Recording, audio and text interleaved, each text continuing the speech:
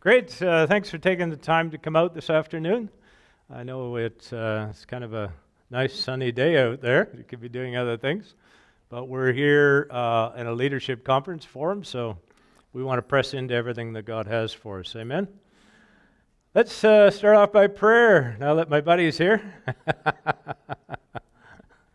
thank you, Father, for your goodness and your grace. We thank you that we have this amazing relationship with the God who created the universe, and uh, we get to be friends with you and all the different aspects of who you are.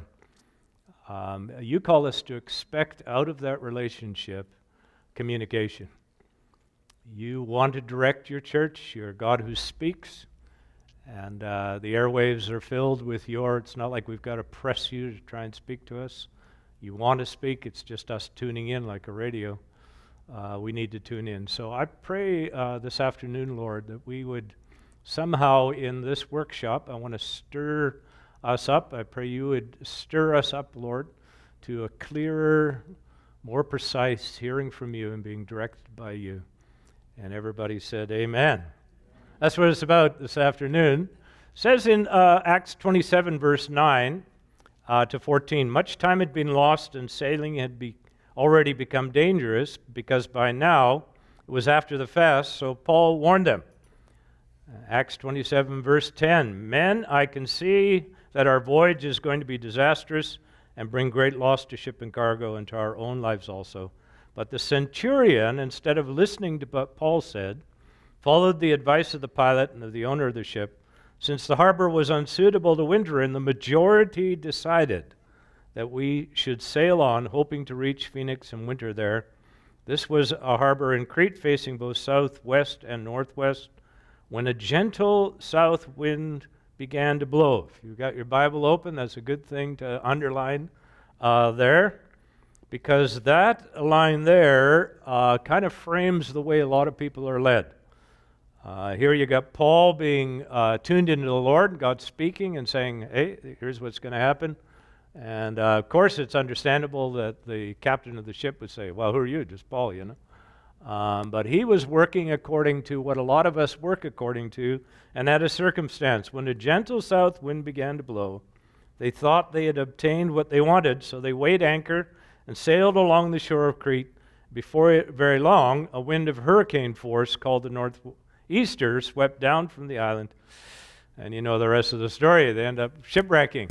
It's just such a good picture there of this contrast of hearing from God and being led by circumstances. Because in this stage of following the Lord, some 40 some years, uh, I have found over and over again in leadership people making decisions, major decisions. Uh, I think all of our decisions made, need to be made in the Lord, but the Lord expects us, He's revealed in His Word His will for us, and He does expect us to get on life. I'm not somebody who thinks that every step you got to hear from God, no turn left, you know. You can have seasons of that or times of that where God wants to direct you specifically. But the fact is that the Lord wants to lead us. And we need to be making major, major decisions in our lives, need to be submitted to the Lord. Because at the end of the day, hello, He's the Lord. And He said that we're supposed to pray this daily Thy kingdom come, Thy will be done in my life today. So that's not just idle words saying, God, hey, you be Lord, you direct me, and then I just carry on with my life. I really am convinced that God wants to speak to us. I've called this hearing God's voice, and I did that on purpose because people are kind of anxious about the idea of hearing God speak, you know. Uh, hearing his voice, you need to understand there's a whole bunch of the church out there that thinks that's pretty spooky. But I chose it because it's biblical. Jesus said that. Jesus said in John 10, where's my scripture? John 10, verse 27 My sheep listen to my voice, I know them, and they follow me.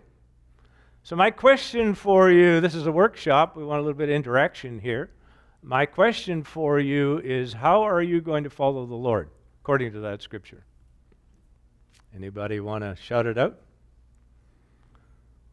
According to John 10 27, how are you supposed to follow the Lord? Hmm? John 10 27. Sorry, I didn't hear. To listen, right. The way we're going to follow him is to listen to his voice. And who gets to listen to his voice according to that scripture? The sheep. Everybody say ba, you know? No, no. We're all sheep. So sometimes we think, well, this is some special commando group, or it's the leadership, you know, the apostolic team needs to be hearing from God, or the elders, but hey, I'll just get on with my life. No, Jesus expects us as sheep. He knows us, He has a relationship with us, and He expects us to follow Him. And to follow Him, we need to hear His voice. So, what I'd like to do uh, with us this afternoon is try and stir you up in the area. We're going to talk about some different ways of hearing from God.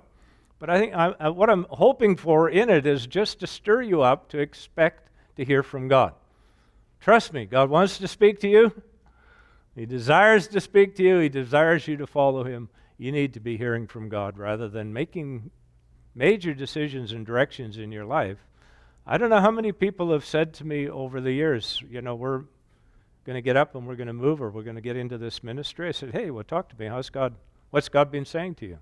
No, we always wanted to go there. You know, I shared the testimony of how God took us to Africa, and He had some specific directions.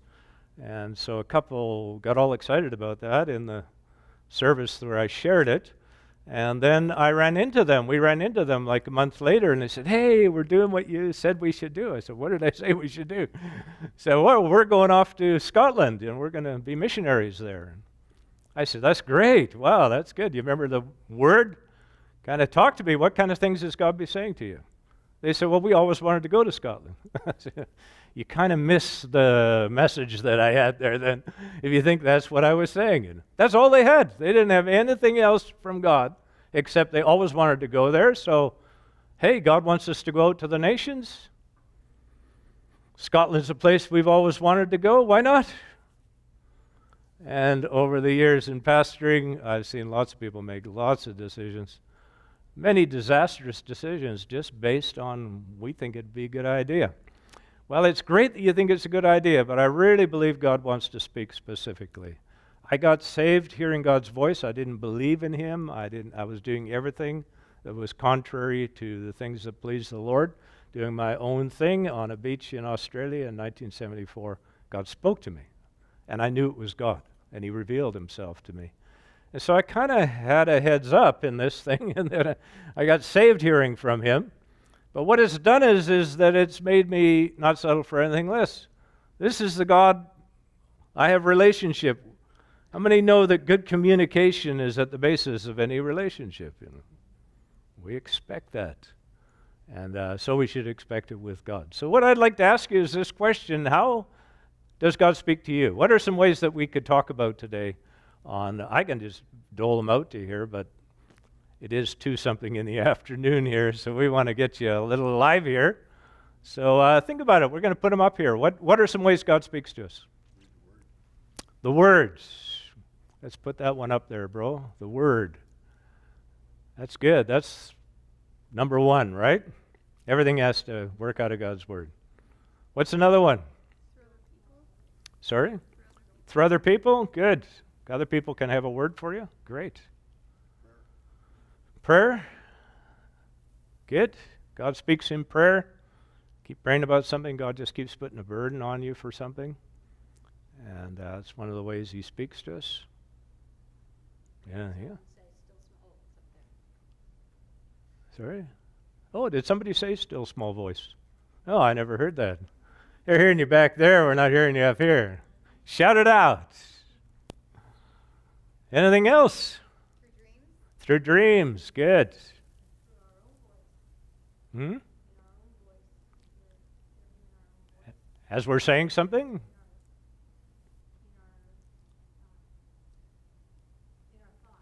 Yeah, that's that would be under still small voice, I would think, you know, yeah. He speaks audibly sometimes, yeah. Some people are not comfortable with that. Taryn says he hasn't heard God speak audibly to him, but I used to teach this as a class in a Bible school in Africa, and I would ask every year uh, this very thing I'm asking you, and I would say, How many here has ever heard the audible voice of God? And uh, eh, not every year, but different, interesting to hear. Uh, people, one, one of the guys I remember uh, was a pastor up in the, uh, he was an evangelist, and he was up in the mountains in Lesotho. And uh, he heard an audible voice. He said, I was just walking across the field, cut off from any other communication around there, very remote, and I heard an audible voice speak to me that said, Nicholas Bhengu is dead. That was it.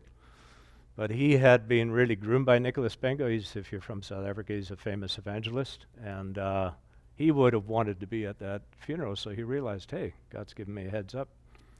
And if he hadn't heard that voice, he would never have got to the funeral. That would have been a sad thing for him. So God can do that. How else does God speak to us? Circumstances, very good. I'm talking about positive circumstances here. Uh, and what I'm trying to say is that can't be the only thing that leads you, but it is one of the things. The door has to open, you know. Uh, circumstances. Mental, mental pictures, like Good. Dreams and visions. We'll put it under visions, okay? Good. How are we doing? Come on, there's more. There's some obvious ones you're missing here. I think. Sorry? Provi- Yeah, I'd put that under circumstance. Hardship. Hardship. Ah, that is an interesting one. Yeah, God can speak into that. I think what God can do in hardship, though, is is that He can use it to press you in to want to hear. Okay, what's this about? You know, um, I would think more than. Yeah, I guess He could give you direction that way. What about prophecy?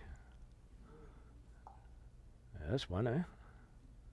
A lot of people are very dependent on prophecy.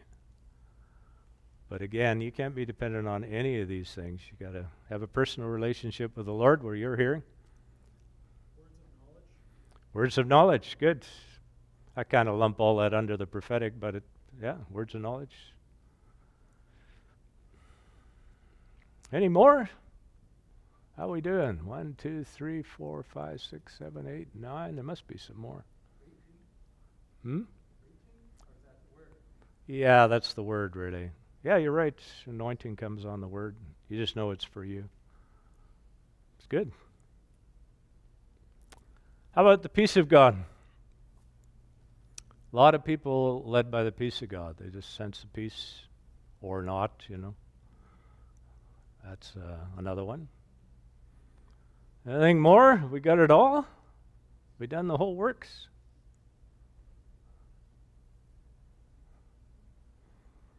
All right, that's pretty good. I think I've got a couple extras, Jackie.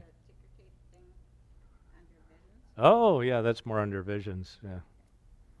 Got a friend of ours that prophesies, and when she prophesies, she said she reads it just like a ticker tape. It's just, I said, lay hands on me. I want that gift, you know. so you don't have to wonder whether you got the right words. It's just your reading. She says sometimes just like a newspaper. A newspaper just comes up in front of her, and she just re- takes a mic and just reads, you know. I want that gift. I don't have it. All right, let me give you a few of these. You want to take some notes uh, over some of the ones we've talked about? Of course, the Word, uh, Psalm 119, verse 105, says, Your Word is a lamp to my feet and a light to my path. So God is not going to speak to us outside of His Word. He's given a major revelation to us of how He wants us to live. As we've heard already today, uh, it's not God saying something to us that's contrary to His Word. Well, sometimes people come and they want to bounce something off you. I feel God is I said, it's not God. He's, it's just not in His Word. You know? So you can't just take the letter of the Word. You've got to take the heart of the Word, right? The old classic one uh, guy flips the Bible open. He wants direction. Flips it open and it says Judas hung himself. Whoa, you know, put that down. So he flips it over again, and the scriptures go and do likewise. You know. So, not really the heart. You can find a scripture for anything you want to do, in other words, um, but we're talking about the heart of God. Uh, so, words the bottom line. But God does use words. He also uses words where He just highlights words to us. You're just reading through the Bible, and suddenly that scripture just comes alive to you. At uh, this experience when we were going to Africa. God had been speaking to us over a year. We were seeking direction. We came to a major decision we had to make around employment. Are we going to go to Africa or do I take this job? kind of a thing. Uh, we're finishing Bible school. Okay, so where do we go? And, uh, and I just went into my prayer closet as it was my habit to do. And God said to me, almost in an audible voice, um, look up Jeremiah 28 16. So I looked up this verse, and it says, Therefore, this is what the Lord says I'm about to remove you from the face of the earth. This very year you're going to die because you've preached rebellion against the Lord. In the seventh month of the year, Hananiah the prophet died. So I closed it up real quick. that can be God. I'm hearing voices. and then I felt the Lord say, No, no, open it up again. I want to speak to you. And I looked down, and then these, these uh, words came off of the page, and everything else faded out. And the words were, Therefore, this is what the Lord says I'm about to remove you this very year in the seventh month of that same year. So this was 1985. It was May, and we didn't have a clue where we were going, but between May and July, which is the seventh month, everything just came together and God released us to go. So look for his words. Uh, my second one is around the audible voice, the still the small voice. Great scripture for that. Verse uh, Kings 19:11 says, "The Lord said, Go out and stand on the mountain in the presence of the Lord, for the Lord is about to pass by." This is Elijah. So it says there, the Lord said. It doesn't really tell us how he spoke. Know? I mean, for a lot of people who think that we don't need to hear from God, if you take not hearing from God out of the Word, you haven't got much of the Word left, you know. There's this Old Testament and New Testament is just a lot of God's servants hearing specific direction from God and, uh, and acting accordingly. And so we have the Word. The great and powerful wind tore the mountains apart and shattered the rocks before the Lord, but the Lord was not in the wind. And after the wind there was an earthquake, but the Lord was not in the earthquake. And after the earthquake came a fire, but the Lord was not in the fire. And after the fire came a gentle whisper. There's our, as some versions say, a still small voice. When Elijah heard it, he pulled his cloak over his face and went out and stood at the mouth of the cave. Then a voice said to him, What are you doing here? Elijah. So there's two things in one scripture. One, God speaking, we're not quite sure how. Second one, a still small voice he hears. He expects in the earthquake, in the storm, in the fire, we kind of expect God to speak in a, you know, this awesome, creative, all-powerful God. But uh, God shows himself to Elijah as a still small voice that he hears. And then it says, a voice spoke to him. So you kind of have these two things happening in this one section here of an audible voice and a still small voice. And I think God uses both of those uh, as Tyron was saying, uh, you know, an audible voice is not normal. It does happen. God really wants to get our attention, but a still small voice is how we normally hear. I'm, I'm putting kind of thoughts that come to us, but you have to uh, just keep testing and trying out that still small voice, and that's how you learn to discern which is the voice of God. You've got these three sources, right? You can got God wanting to speak, you got your own flesh wanting to speak, how many found that flesh can speak really loud, you know? so it's hard to hear. And then, of course, the enemy wants to speak. And we have to learn to discern God's voice in all of that. Uh, and we can do that. It's worth doing. We want to follow him. So I want to encourage you. This is, I have found in talking to most people and teaching this over the years, this is the major way that God speaks. It's just that still small voice. You just know it's God speaking. There's something about His Spirit behind it, speaking to your spirit. Third one is visions and dreams. Put those both in the same category. Acts 2:17 says, "In the last day, God said, I'll pour out my Spirit on all people. Sons and daughters will prophesy. Your young men will see visions, and your old men will dream dreams." So God says that's how He's going to speak to us through dreams and visions. So we need to kind of uh, be looking for that. I found this interesting thing about uh, visions. I mean, there are times when it's like a dream. You have a dream and you just sense, hey, this is from God. You know, there's something about it. You remember it in the morning. Uh, uh, uh and you have a feeling this is really from the Lord. And uh, here's how I found that you can tell whether a dream or a vision from the Lord is that it should come with an interpretation. You know? I mean, sometimes people have such complicated dreams, you know, and they say, Here, you know, what's God saying? I said, I haven't got a clue what he's saying. That thing is so complicated. I found over the years that uh, most people are more complicated than I am. Uh, I mean, there, it's not, I'm trying, not trying to say because it's complicated, it's not God. But if God spoke to me that complicated, I would just say, well, too much pizza, you know? I mean, uh, I wouldn't take that as a, a dream from God. But I, I found this thing about dreams. If I sense there's something of God in it, and I say, well, God, show me what it is. And it just starts, God starts using, He used that to get my attention. And now He begins to fill in the blanks. And the same with a vision. A vision is a dream during the day while you're awake, right? A dream's while you're, a vision while you're asleep. They're very similar. Uh, sometimes you can have a dream, and sometimes uh, you can see a vision, and boy, it's like watching TV. Or the whole thing is unfolding, you know. And uh, but I found that um, visions most of the time for myself are just quick little things. I'm just worshiping the Lord, or I'm talking to somebody. There's a quick little picture, and in the past I would miss it. I think I just dismiss it. But because I'm wanting to hear more clearly, I'm saying, God, make me more sensitive. I found those things come more often. Little picture, and it just you share it with somebody, you're talking to somebody, say, hey, I just saw this thing about you. You know, while we were talking, boom, you know, it just begins to unfold what it's all about. So I'm trying to stir you up today in a short one hour session here, and I really would like to encourage you just around the area of watching for pictures. I think sometimes people hear dreams or visions, they think, oh, well, that's somebody else, you know, that, that can never happen to me. No, it can happen to you if you're open to it, if you're willing. If you're willing to dial in the tuner on your radio, uh, you can pick up their voices right now going through this room and pictures. Uh, just in the natural, if you have the right tuner, you can hear them. And so it is with the Spirit. Be open to those things. I adjure you. We need you to hear. Fourth one is prophecy in 1 Thessalonians 5, uh, verse 20 and 21. says, Don't treat prophecies with contempt Test everything, hold on to the good. That's a good exhortation when it comes to prophecy, isn't it? Don't treat it with contempt.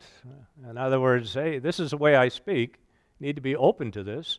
But hey, you need to test this. Is this really of God? Is the way it's being interpreted? Because prophecy is somebody speaking, uh, whether it's a word of knowledge, word of wisdom, discerning of spirits, or actual prophecy. it's somebody giving you a word, and many times they're kind of uh, get inspired in the moment. I don't believe every word that everybody gives is directly from heaven. But the testing of it comes in what has God been saying to you, especially if it's a major direction. I think Agabus is a real good example of that. Uh, where was he? In Acts 21, verse 10, he comes, wraps his belt around Paul, you remember, and says, uh, so the what does he say? The Germans are going, or not the Germans, the Romans. no, the Jews are going to hand you over to the, to the, Romans, to the Germans, no, to the Romans. Some of them might have been German, but uh, uh, actually, you know, Agabus got it wrong. You know, it, it, wasn't actually true. It was ended up being. You know, he's on the right track. Such a good example for us. Um, but it actually was what? The Romans handed them over to the Jews. No, the Jews handed them over to the Romans. That's what happened. So it was backwards to what he said. But here you got this high profile guy coming and prophesying over you. It'd be very easy to take it all as gospel, wouldn't it? You'd, you're awed by the fact this guy is speaking to you. But Paul says, hey, just relax. I mean, Agabus's interpretation of, was, of that was obvious. Don't go to Jerusalem. and Paul said, hey, lots of people have been telling me that. It's just a confirmation, in other words, of what God's already been saying to me that God has said, I'm supposed to be bound and go to Rome. Thank you for the confirmation. Now, if Paul wasn't socked into the Lord, he could have been led astray by a prophecy. He would have missed the boat. But because he was tuned in and he wasn't taking prophecy, many people run after prophecy. This guy prophesied me. I'm, I'm supposed to sell everything and go to Japan now. I said, No, don't go. Put that thing on the shelf. Ask God for some confirmation of that thing. Maybe it is God wants you to go somewhere. But it's not necessarily that that word is directly from heaven. Prophecies need to be mixed in. You're the one who needs to hear from God, in other words. If you do not want to be led by prophets, and I'm not trying to take away from prophecy. Prophecy is one of those windows from heaven where God speaks and releases um, uh, heaven on earth, according to 1 Corinthians 14. It's good. We need prophecy. But uh, don't let prophets lead you, be led by the Holy Spirit. Fifth one is a witness of the Holy Spirit. I don't know whether that's one we got. I don't think we got that. Um, but I'll encourage you with that. There can be either a check from the Holy Spirit. We see that in Scripture. Acts 16, Paul and the guys are going out in zeal for this, this calling that they have to go to the nations. And they're trying to go here, and it says the Holy Spirit checked them, you know. They went to go over here, and the Holy Spirit resisted them. And then, you know, Paul has his dream, the Macedonian call. Uh, but it's a, it's a picture of how the Holy Spirit, sometimes you go to say something, and you just feel a check of the Holy Spirit. I like to say every time I've felt the check of the Holy Spirit, I've stopped speaking, but I haven't. I'm so inspired with my own voice, I go and stick my foot in it again. If I was obedient to the Lord, I wouldn't have done that. Or you say you're, you're looking, seeking a direction, but you feel a check of the Holy Spirit. Uh, we need to listen to those. I had a friend in Africa who was just to the bank. He went to the bank in Harare, and uh, as he walked up the steps of the bank, it's like he hit a force field. I've had checks of the Holy Spirit, but I've never had that before. But he, it bounced, actually bounced him right back. He thought, man, they're getting sophisticated here in Africa, you know. With their...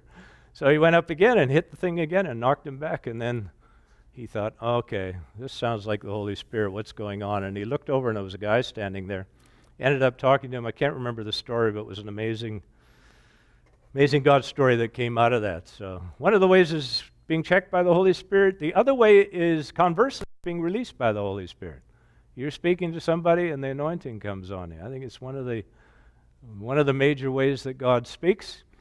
And uh, just one line in that conversation, and you just feel the anointing come down on that, lift off. It's like God saying, Hey, that guy's speaking for me. So we need to be open to those releases of the Holy Spirit, not just the checks of the Holy Spirit, but releases of the Holy Spirit. Encourage you to look for that. The more you press into the presence of the Lord, I'm a I'm a Holy Spirit junkie. I just want to be full of Holy Spirit all the time. Because I find the more that I'm full of Him, the more sensitive I am to some of these things we're talking about. And if we want to see the God stories, we want to see the power of God released, scripturally, we need to be hearing from God. So we want to be very sensitive, more sensitive to Him. I think under the release of the Holy Spirit, Luke 141 is a good example. When Elizabeth heard Mary's greeting, the baby leaped in her womb, speaking of Jesus. And Elizabeth was filled with the Holy Spirit. I mean, speaking of John the Baptist. And Elizabeth was filled with the Holy Spirit. So here's Jesus speaking from the womb through two wombs. Jesus is releasing his anointing already before he comes to the earth. It's a lovely picture. But uh, out of that, there's this prophecy that, um, that Elizabeth begins to give. So I, I'll encourage you with those to watch for those things when you feel just the anointing coming down. Uh, there's a reason for it. Uh, many it's times it's God saying, "Don't do that" or "Don't say that," but uh, more times than not, it's like God asterixing and saying, "Hey, I'm in this. Go for it." Desire. I think a lot of people, as I started off, uh, make decisions based on their desires and just always wanted to do that thing. There's only one problem with that is, is we've got a lot of desires in this thing called flesh, you know. And so you really are going to be led astray if you always just do what you would like to do. But on the other hand, if God's asking you to do something, especially if it's something you don't want to do, then He needs to give you a desire to do that thing. I had no desire to go to Africa. I just was nonplussed about God saying, I'm going to pick you up and your family and take you to Africa. I, one day after months of this, I felt, I said to God, God, if you want me to go to Africa, you better give me a desire to do it because there's nothing in me that wants to go to Africa. And it was before we got there, you couldn't have kept me off the plane. It was like God just so gave me a desire. It was, it was another one of the things, just a release in my desire, you know, to go. Don't be led by desires alone. But it is something that God can give. Suddenly you have a desire to do something you've never had before. Don't let that be the only thing that leads you. But it could be God saying, hey, pray into this thing. And either he's going to say no or he's going to say yes. But you need more than a desire. Seventh one we brought up here is intercession. Uh, it says in Romans 8 26, 27, same way the Spirit helps us in our weakness.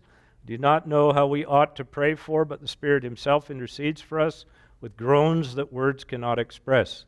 And He who searches our heart knows the mind of the Spirit, because the Spirit intercedes for the saints in accordance with God's will. Somebody shared that one on prayer, and I, I found that's a major way that God speaks. You're just praying about something, the anointing on you, and he, every time you pray for that thing, you have such a burden. It's like you're bringing birth to something. It's one of the ways God can just say, "Heads up, I'm on that thing," you know, and uh, and He speaks through that. My eighth one is circumstances. We, uh, as was shared here, we don't want circumstances to lead us, but obviously, if God wants us to go somewhere, then He needs to open the door. Some things needed to fall into place for me to go to Africa, and uh, those circumstances came at the end, not at the front. Front end was God speaking over a year, and then all the circumstances came together in a few months. Uh, but they do need to come together. The door needs to open, you know. And uh, God's good at opening doors. In Revelations 3 7, what He opens, no one can shut, and what He shuts, no one can open. Don't allow circumstance to direct you, circumstance follows. My ninth one is a fleece. Hey, you guys missed that one. How come? So many people are led by fleeces.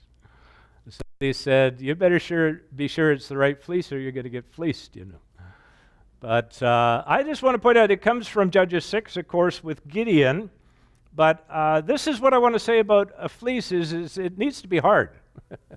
I mean, Gideon really made this thing hard. I mean, first he says, hey, if the in the morning if there's moisture on the uh, um, the fleece and there's no moisture on the ground, then uh, then that will be a sign. He was using that as a fleece. Then he realized, well, that could happen. You know, a, a fleece doesn't attract moisture as much as uh, grass does. So he said, "Hey, forgive me, Lord. Uh, I'm going to ask you again now. Can let's let's try again and make this thing harder. Uh, uh, water on only on the fleece and not on the ground. Now that is really difficult to happen, and that's exactly what happened. But the thing is with with uh, Gideon doing this thing is that what he was doing was an impossible thing. God was asking him to do something that was completely impossible.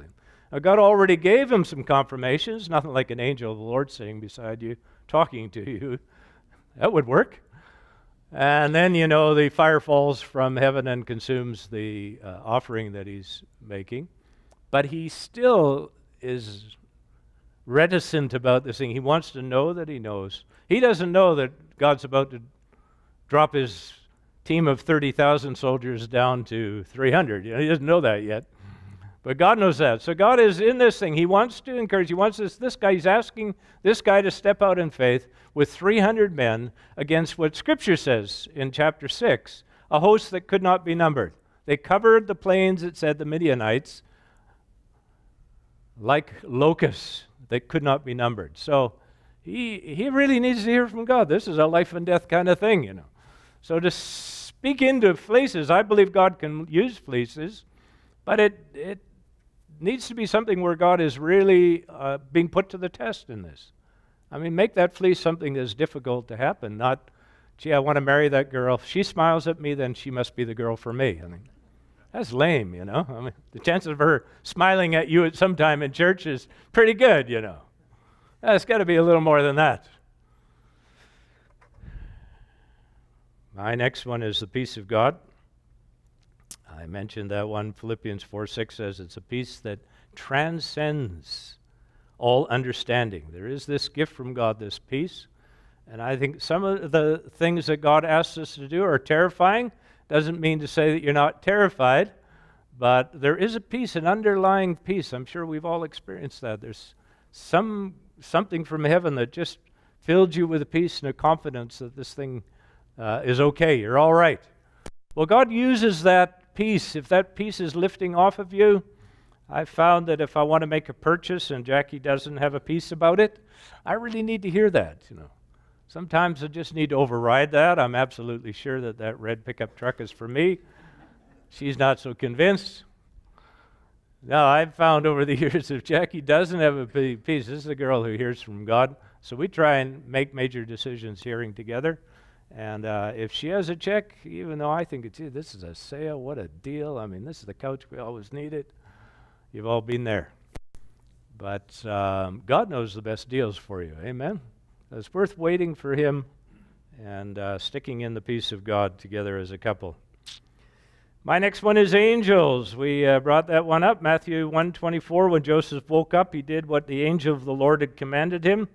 Uh, many, many people again are uneasy about angels, but uh, if you look through Scripture, there are 289 references to the interaction of angels with man uh, upon earth, right from Genesis to Revelations. So uh, if you take uh, angels, for example, just out of the birth of Jesus into the world, you really don't have much of a story, you know.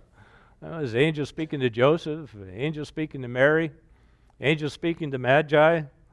Uh, a number of times. I, I don't think we can negate angels. It's not normal.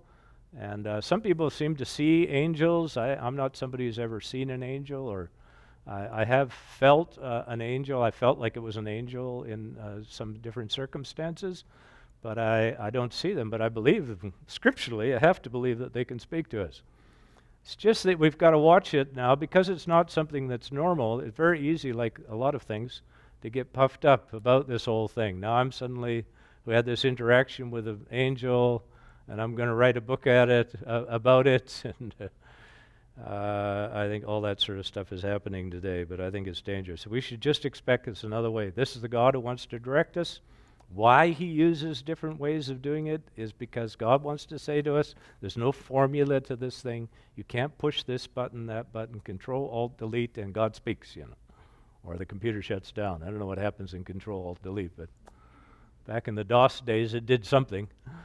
But, uh, but uh, uh, I think that's why God does it. God is God, and He loves this relationship with us. He keeps us in a place of being pressed into Him. He wants to speak. We've got to be open. There are other factors involved in keeping us from hearing from God. But if we will be open, God will speak, but He will do it in different ways. He does speak. Another one I put in here is confirmation of the elders. Uh, Hebrews 13:7. I was sharing this morning that the elders keep watch over you as men who must give an account. I think out of that authority, uh, there's a covering uh, that comes with authority. Every area of authority has a covering that goes with it. And out of that calling and covering, if it's a major decision in my life, I, I don't encourage people to run to the elders every time you want to make a decision. Otherwise, we'd never get anything done. But if it's a major move, if it's a major decision of, of uh, ministry that you're called to, and you're in a church where these are elders are expecting to hear, they hear uh, people, they're, they're pressed into a relationship with God, then I expect the elders to hear.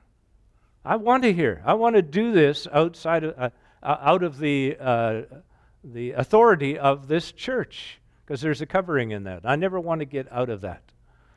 Uh, when we felt God was speaking to us so clearly about going to Africa before we said anything to anybody else, I said to Jackie, let's go to John, who was pastor of the church, and I was one of his elders, and there was about nine or ten of us, I think, at the time. I said, let's see if he'll take it to the elders, if he has any witness about it. And if he says no, and the elders say no, we're, we don't believe God's in this at all, then we're not going to Africa. They say, well, if God's calling you to go to Africa, and you're really sure of it, and now you're trying to tell me that the elders would stop you going from Africa? Of course. Because these are guys, I'm on this eldership. These are guys that hear from God. We would meet together and pray every week and hear God together. So, uh, so the other side of it is true. If this really is God, they're going to hear, right? and people are not so sure about that. A lot of people just make decisions. I don't know how many people have come to me with major decisions they wanted to make because I preach this. And we get together as elders and we pray about it and we're trying to hear from God and we really sense God saying, no, not now or not never. And uh, I've gone to many guys and said, I, I appreciate it. It's a great opportunity. They can pay you three times what you're making right now, but I don't believe you're supposed to go. We, we just cannot get a witness that you're supposed to go. Well, they storm out the door and they're going anyways. You know, how dare you keep me back from this oh, wonderful opportunity? I want to say, well, why did you ask me? You know. You're going to you're gonna take a chance here. If you're going to go to the elders, then you got to.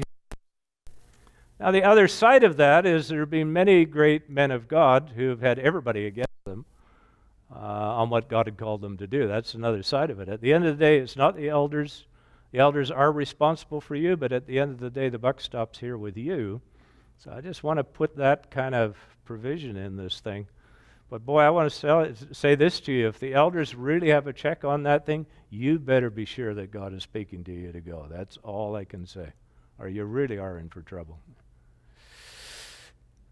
God is good. Keep smiling at me. What did all the elders say to you when you approached them? Uh, well, that's an interesting story. I'm glad you asked that question because uh, John is uh, was an el- uh, was a uh, lawyer, unlike uh, Terry, who's bubbly and he's a very quiet, conservative, British kind of guy. Uh, never used to say all that much. Very determined about what he always chose his words very wisely. I, why he handed over to me, I'll never know because I'm the opposite. I'm a blabbermouth. But uh, so we, I said, well, we're going to go. Let's take it to John. So we went to his study, and uh, I said, here's what God's saying to us. He got all excited because God had been speaking to him already about, I want you to step up missions. We'd always been a missions church, and God said, I want you to step up missions. So God was already at work in there, but he very wisely said, that doesn't mean to say that you're supposed to go. Um, let's take it to the elders and pray about it. He said, I'll, I'll pray about it, whether we should take it to the elders. I said, great. That's good. So I get in my car and go from his place to my place, which is probably about 25 minutes or so, 20 minutes. And as I come in the door, the phone's ringing. Now, this never happens with John. With John, if you asked him something like that, you probably hear days later or weeks later. Uh, that's what I was expecting. I thought it even months later, you know. But as I come in the door and phone's ringing, I pick the phone up. It's him. He is pumped. Now he never is never like that. he was doing a Terry on me. It was like a Terry solicitor, you know. He was excited on the other. He said, Wow, when you guys went, I prayed and God spoke to me. You're supposed to go to Africa. Well, let's get the elders together and pray about it. And so we did, and we just had word after word. And it was really fun because we, uh, it was actually over a year and a half that it took us to go. And uh, to go to Africa, I started exploring. I'd never had thought of going as a missionary. But I, I, started exploring how you go to Africa, and evidently you can't just walk into every, any country and say, "Here I am," unless you got a job or something. Uh, you have to be sponsored by something. So there, there's these major missions organizations to go to Africa. So everybody said to me, "Oh, well, you got to hook up with WEC or YWAM or one of these groups, you know, to uh, have some covering in the country, or the g- government won't let you into the country." And I, was, I guess I better do that. But that that is where I was talking about check of the Holy Spirit every time I would go to do that, it's like God said, Don't do that. I'm not going to take you the normal way. I've got a specific place I'm going to take you in a completely different way than, than normal. So that was already pushing me out of my very secure boat. And, uh, and uh, that's exactly what happened. Uh, when God said, In seven months you're going to go, suddenly there was a. Uh, it's a long story. I won't tell the whole story, but as God took us there, but it was over a period of time. That answered the question. Uh, if the elders had said to us, I really did mean it when I said that to Jackie. I can't believe, if this is really God, that they're not going to hear from God. You know. My last one is to commit it to the Lord, and uh, I'd like to end with that one because I think that's where we live most of the time. As I started what I was sharing, Proverbs 3 6 says, In all your ways acknowledge him, and he will direct your steps. So we don't go walking uh, normally like this. You know, God, God says five steps forward and two steps sideways. And He can send you out on a special commando raid and do that, you know, where He directs you, go down to Starbucks right now. And, and uh, that's fun to do those sort of things. But normally we just get on with it. I don't have to wake up in the morning and think, should I get out of bed, you know?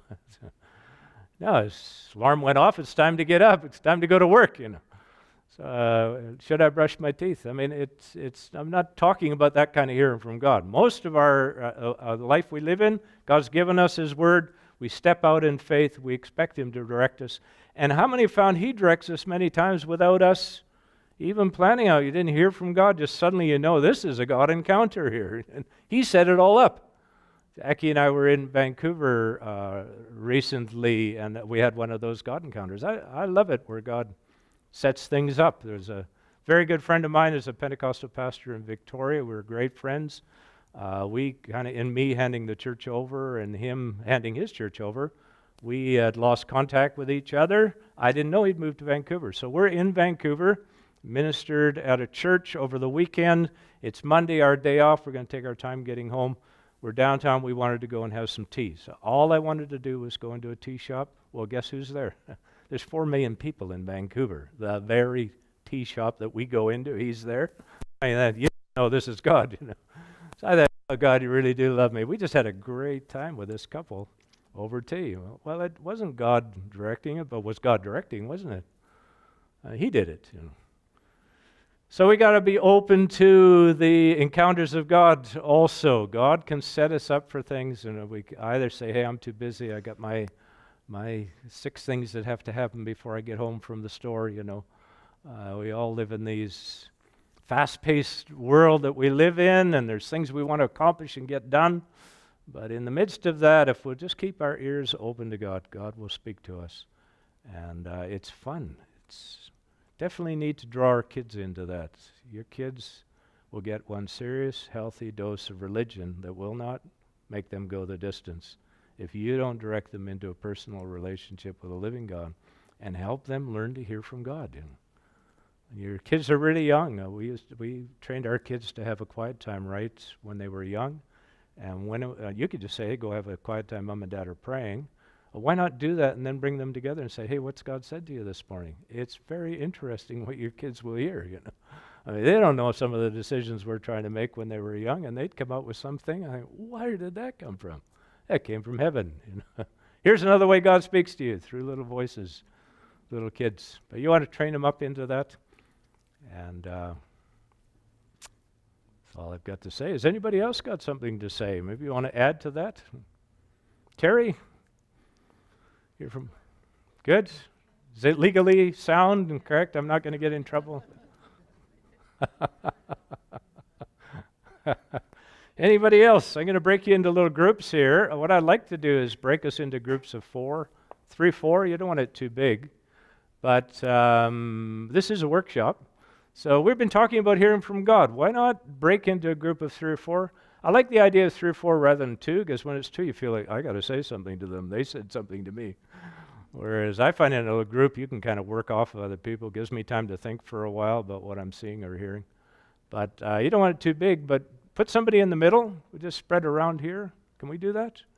Three or four, and then just take uh, a few minutes and pray for one another, and let's hear. You'll be very surprised some of the things that God will speak to you. If you see a little picture, why not step out and say, hey, I don't know, this, I see pineapple, you know? What does that mean, you know?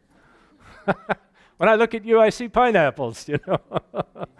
wow. Gee, that's funny. We're just praying about whether we should go to, you know, Mexico or something. Could be a confirmation. I'm just giving you an example. But uh, let's not take it as, boy, we got to run out the door and go do what somebody says to us today. But let's keep open to God. God, God sees us uh, by faith. He sees us in ways that we don't see ourselves with the natural. And uh, why not speak those things over one another? And uh, maybe there's some decision people are making, and your little word could just encourage them in that decision. Yep for that? Let me pray for you. Why don't you stand up so you look like you're ready to move, you know? Lord, we just thank you. You're an awesome God. You're wondrous. We praise you. You are the God who speak. And uh, you brought us into this amazing relationship with you. Every relationship's based on good communication. So we want to get better at hearing, Lord. We ask you to forgive us for just going and doing our own thing. Uh, we want to be more open to hearing from you and the whispers of heaven, a still small voice, whatever way it comes, whether it's through somebody else or in our own spirit. Uh, let us respond to those things, even now as we break into groups, Lord. Uh, I just think that you can speak uh, in ways that people are not used to hearing, or maybe not. But uh, we want to give you the opportunity, Lord. Thank you, Father. Everybody said, Amen.